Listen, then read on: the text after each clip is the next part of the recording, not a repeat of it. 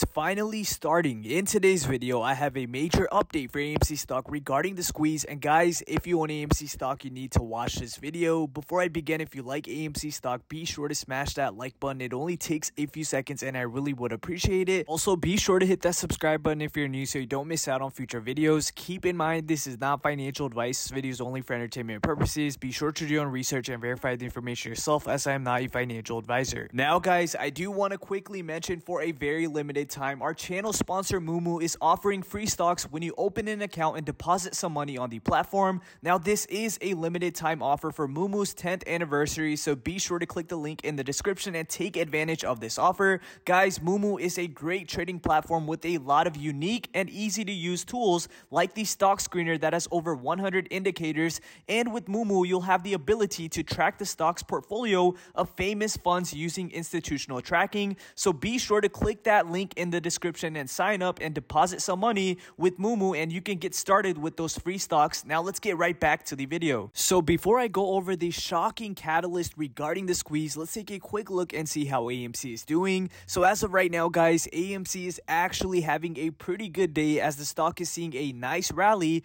after yesterday's dip in price. The trading volume has also picked up today which is definitely a good sign. As we know today is the day AMC is expected to release their earnings report which I think could have a profound impact on AMC's price, at least here in the short term. If they report good earnings, I predict the stock could easily take off, moving double digit percentages. So make sure you guys are ready today. But in this video, guys, I want to go over the shocking failure to deliver numbers that were just released. So according to Chart Exchange, the average number of failure to delivers per day for October 2022 is 992,000. This is a massive number, guys. I think it is important to note that this does not mean each day had an average of 992,000 new failure to delivers. This basically means that at the end of each day, there were on average 992,000 failure to delivers still outstanding. This is just complete BS in my opinion and not indicative of a healthy fair market. For the people that don't know, failure to deliver refers to a situation where one party in a trading contract, whether it's shares, futures, options, or forward contracts,